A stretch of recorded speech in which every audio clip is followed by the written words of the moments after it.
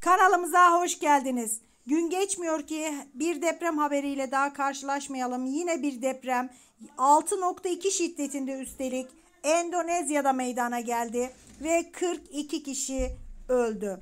Endonezya'da meydana gelen 6.2 büyüklüğündeki depremde 42 kişi yaşamını yitirdi.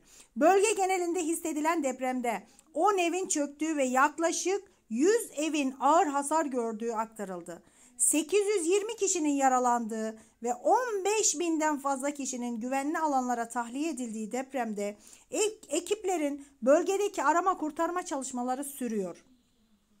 Merkez üssü eyaletinin Mejene kentinin 6 kilometre doğusunda olan depremin yerin 10 kilometre derinliğinde kaydedildiği açıklandı.